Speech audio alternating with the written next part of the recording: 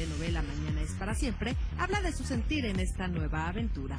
Encantada, encantada, muy agradecida de, pues de tener trabajo, de compartir créditos con tanta gente y sobre todo encantada de poder aprender una nueva manera de, de hacer las cosas, en mi caso, pues, este, de hacer cosas distintas. Y asegura que Lucero sí le hará la vida de cuadritos.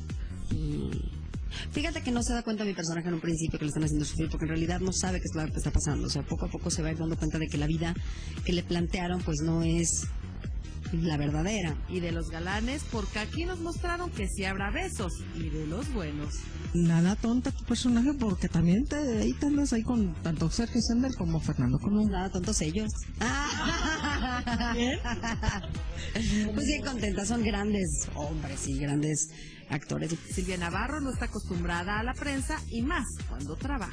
Sí, yo Sí, hay mucha gente de medios, yo con razón, yo los veía que se quejaban tanto, pues es que aquí hay muchos. gente pública. Pues eh, sí, pero yo estaba acostumbrada a cuando voy a trabajar, pues voy a trabajar. Y aquí cuando vas a trabajar, pues haces como prensa y una serie de cosas que yo no estaba acostumbrada. Un periódico de circulación nacional publicó hace unos días que la actriz se había operado la cara. Y eso dicen. Sí, me puse ojos verdes, antes los tenía azul marroncito. Ay, ¿Cómo haces esas cosas? así soy yo de internacional. ¿Te dolió? Sí, me dolió, me dolió muchísimo. Apenas si puedo abrir los ojos y me puse pestañas postizas. Ah, Estas todas las sí, pues no, no me hice. No sé qué tanto pusieron, pero no. Lo voy a hacer algún día, que ni, se sorprendan. Me voy a levantar todo, que que levantarse y todo eso. Yo, yo te cobraré 200 pesos en el foro haciendo eso, ¿eh? Míralo. El del teléfono es él. Hoy, María Luisa Valdés Doria,